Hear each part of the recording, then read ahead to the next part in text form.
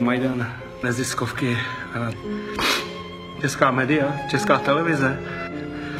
Lžou za prachy. Vlastenci, novináři. Winston Churchill měl pravdu. A já? Hmm. A za co teda? Za to, že jsem vlastenec?